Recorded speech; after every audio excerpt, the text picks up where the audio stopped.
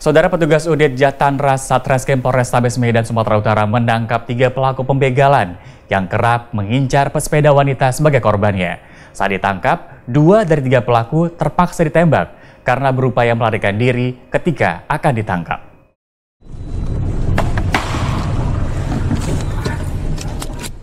Sejumlah tembakan peringatan ke udara ini sempat diletuskan petugas unit Jatanras Satreskrim Polrestabes ketika menangkap tiga pelaku begal yang selama ini kerap mengincar pesepeda sebagai korbannya.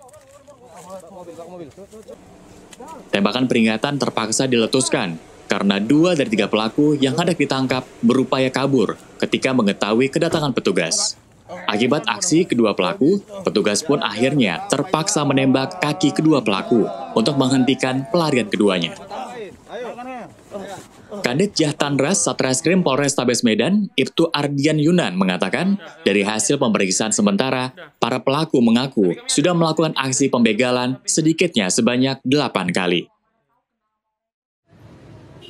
Dari delapan aksi kejahatan dilakukan, dua di antara korbannya merupakan pesepeda yang tengah bersepeda seorang diri dan aksinya sempat viral di media sosial karena terekam kamera pengawas atau CCTV. Pelaku selalu mengincar korban yang melaju seorang diri, terlebih lagi korban merupakan seorang perempuan yang mengenakan tas selempang.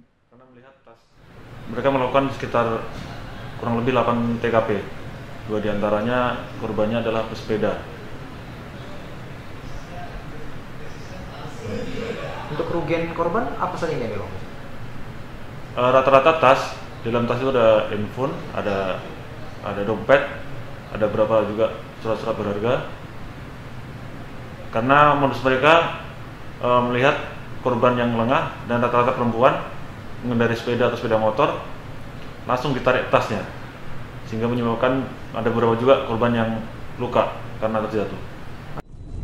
Untuk mempertanggungjawabkan perbuatannya, ketiga pelaku yang ditangkap saat ini terancam akan dipenjara selama 9 tahun karena dijerat dengan pasal 365 Kitab Undang-Undang Hukum Pidana tentang pencurian yang disertai dengan tindak kekerasan. Ferry Irawan, Kompas TV Medan, Sumatera Utara.